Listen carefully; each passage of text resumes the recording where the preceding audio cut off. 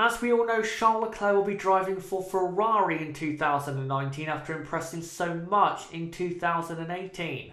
But Charles has been impressing ever since his days in karting. And ever since his GP3 title in 2016, his meteoric rise has just continued. And in today's video, we are going to look at the rise of Charles Leclerc and just how he's going to do at Ferrari in 2019. But let's start from the very start as Charles Leclerc was born in 1997 in Monaco immediately into a racing family as his dad Hervé raced in Formula 3 in the 80s and 90s. So there was already racing pedigree right there and it was no surprise he began competitive karting at just 8 years old. But he was very successful in karting as he won a title in almost every year between 2005 and 2013 whilst at the same time competing with drivers such as Max Verstappen and also Esteban Ocon. But once his karting career was over, he now had to make the step up to single seaters. And even though he wasn't successful right away, it was clear that this guy had something special. And eventually, in single seaters, his talent shone through to give him the GP3 title in 2016 but he now had to make the step up to the most prestigious and hardest junior Formula Racing series in the world. Formula 2, where he was expected to take the title in 2017. And he showed exactly why, as in Bahrain, he put in one of his best drives of his entire career, as he marched his way through the field and got into the lead of the Grand Prix. After taking literally seconds a lap out of some people. But after a couple more successful weekends came a very difficult time for Charles Leclerc, as just days before his race in Baku, his father Hervé had sadly passed away, but showed incredible mental strength to still come through and win the Grand Prix. To be that mentally strong still after such a sad moment just shows how good this kid is, as he didn't let a difficult moment like this affect his performance. Now, for the rest of the season, Charles Leclerc was not as good as he was in the first half of the season, but he still did enough to take the F2 title. Because essentially, he was the best driver in the field. But he now had to make the step up to the biggest series in motorsport, Formula One, where in 2018 he would be driving for Sauber. And even though he was expected to do well, the first couple of races were actually quite tough as he was struggling to drive the car with the driving style he had, and thus had to make changes to it to adopt the Sauber setup.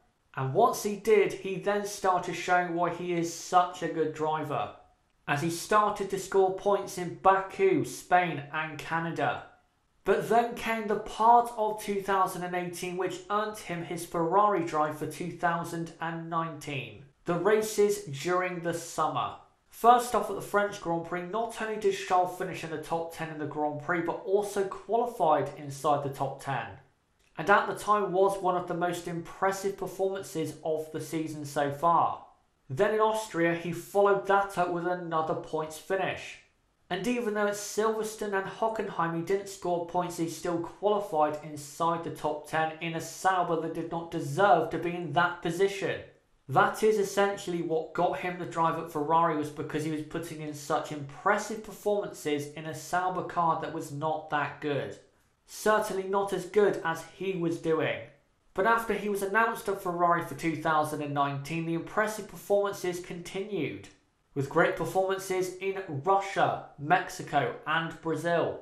And now for this season, he is driving for the team he's been dreaming of driving for for such a long time and is also driving for the team that his good friend, who is sadly no longer with us, Jules Bianchi, was also dreaming to drive for. And it's also a bit touching that Charles essentially has continued what Bianchi was going to do, which is drive for Ferrari. But how is Charles going to do at Ferrari in 2019? Well, he has to overcome the inevitable mental hurdles that come with driving for that team. Driving for Ferrari is like nothing else. You have the pressure of an entire country on you, not just the workers at the factory. It is the most pressurised seat in Formula One. And if you don't perform, you will be kicked out because of the pressure. But I think Charles has shown that he does have the mental strength to succeed at Ferrari again after that win in F2 at Baku after the passing of his father. And also proved himself to be mentally strong after responding to his tough start at Sauber. I think mentally this kid does have enough to succeed, but we don't know until he actually races for the team in a real Grand Prix. But when it comes to succeeding at Ferrari, what exactly defines success? For me, it's simple. You need to win, say, 10 Grand Prix at Ferrari to be a real success at the team, even if you have not won a world title. So, yes, I would consider Fernando Alonso to be a success at Ferrari. But if you look at the people who have succeeded and failed at Ferrari, there is one key difference. The ones who do work out Ferrari tend to be one of the very best on the grid at the time they are racing in. For example, Lauda, Schumacher, Raikkonen, Alonso, even Sebastian Vettel. You have to be supremely talented to win Grand Prix for Ferrari. But to win a championship, you also have to be very strong right here. And because Charles is one of the most talented on the grid, he really should succeed, but again, we don't know until the real racing starts. Also, one big thing he has to contend with is Sebastian Vettel, his teammate. Now, Charles Leclerc wants to succeed at Ferrari and actually be the team leader of the team, he has to follow one example. The example of Lewis Hamilton against Fernando Alonso in 2007 and how Lewis unsettled Fernando at McLaren. What Charles has to do is get ahead earlier in the season to unsettle Vettel's mentality. That's what Lewis did in 2007, as already by race number 7, Lewis was ahead. Charles Leclerc has to strike early on against Sebastian Vettel if he is to beat him.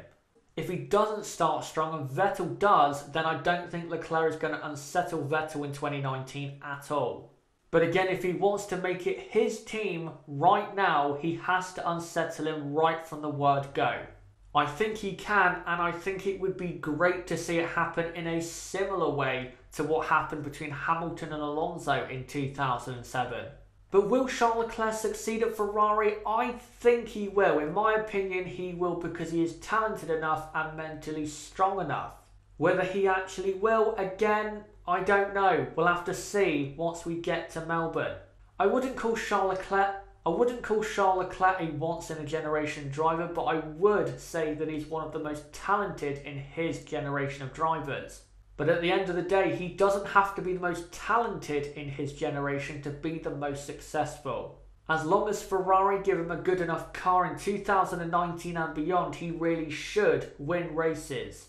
And hopefully Ferrari can do exactly that, not only for Charles Leclerc but also Sebastian Vettel. But for drivers in 2019 like Lewis Hamilton and Sebastian Vettel, Charles Leclerc is definitely one to keep their eye on. As if things go well, this kid could mount a title challenge in 2019. And Leclerc's meteoric rise could be set to continue. But anyway guys, that has been it for this video. Don't forget to like this video and comment down below what you thought of this video and how Charles Leclerc will do in 2019. Also, don't forget to check out my Discord server in the link below in the description with my Twitter and my website. Again, sorry if things are not perfect in the new studio, but we are still working on things and I think it is going well. But again, when it comes to this subject, make sure to comment down below what you think about Charles Leclerc for this season. I'm very interested to see what you guys think. But anyway, guys, as ever, it's been me, Chazza HD. Goodbye.